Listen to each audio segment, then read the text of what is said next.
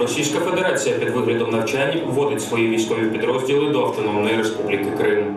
Один з харківських кінотеатрів провів безкоштовний показ фільму Крим, оточені зрадою. Стрічка розповідає історію 36-ї бригади берегової охорони від початку окупації до повної анексії Автономної Республіки.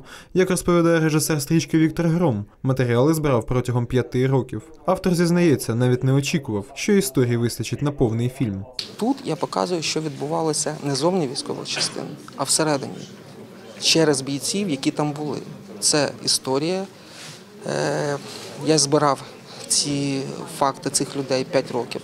Це було не спеціально. Ну, я не розраховував, що це буде фільм.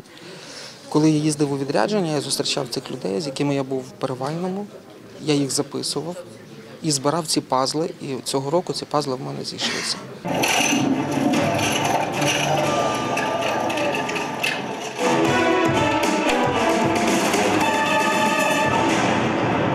Як вважає режисер, його стрічка розрахована як на військових, так і на цивільних громадян. Цей фільм розрахований на кожного мешканця України, а також і за кордоном, тому що цей фільм показує для військових, як не треба робити, якщо не дай Бог.